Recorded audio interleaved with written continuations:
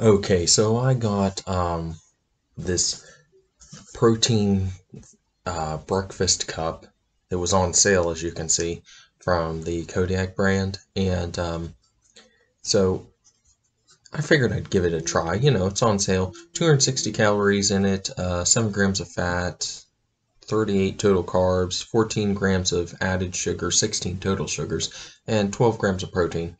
I figured it was worth trying. And um, I just assumed it was like oats. But it's just like, I don't know if the camera's picking it up. It's just like slop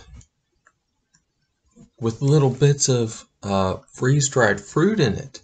And um, and what what's amazing too about it is I cook I heated up uh, milk on the stove because I don't like to use the microwave they advertise using the microwave on the cup.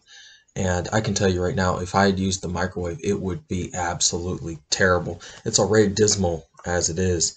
Um, I can see why it was on sale. I mean who would who would choose to eat this? It's just slop. Um, of course I mean I have it but I only bought one to give it a try. Yeah in my opinion this is terrible. Terrible. It's edible, but it's, it's it's just slop. It's like a it's like an even runnier.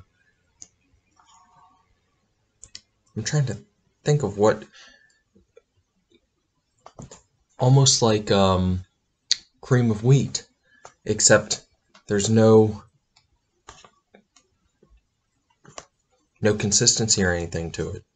It's just real runny, like a warm protein powder drink with little bits in it. Yeah. I can see why it's on sale. I don't know. It I mean it obviously is edible, but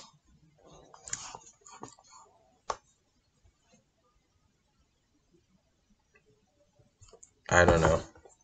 I guess since the flavor's not like absolutely terrible. I could give it a 1 out of 10, but it's the consistency is just not not pleasant at all. So, yeah. Kodiak uh, Blueberry and Maple Flapjack Power Cup. 1 out of 10. Don't try it.